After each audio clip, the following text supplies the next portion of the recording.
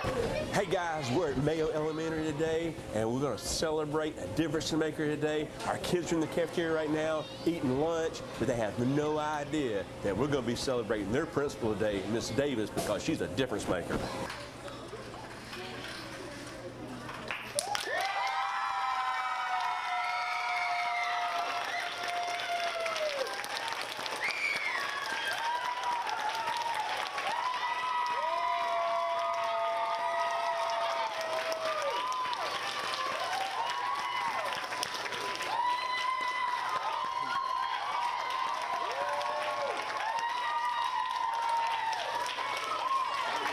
Miss Davis, come down here because we are celebrating difference makers today, girl. Come here, come, come, come down here.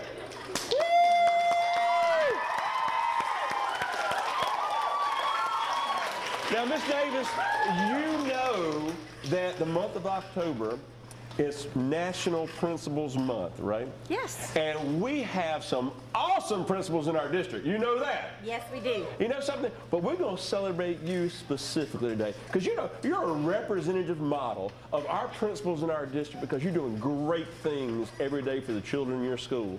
But you know something? Just recently I learned that you're always trying to get your community into the school. You're always trying to get our parents into the school. You're trying to get the greater community into the school. Just recently, you had a parent student luncheon where we're bringing our parents in, try to get them in schools with our kids. But you knew that some of our kids, you know, parents are working. You know, they're busy people too. We knew some were not going to be able to make it.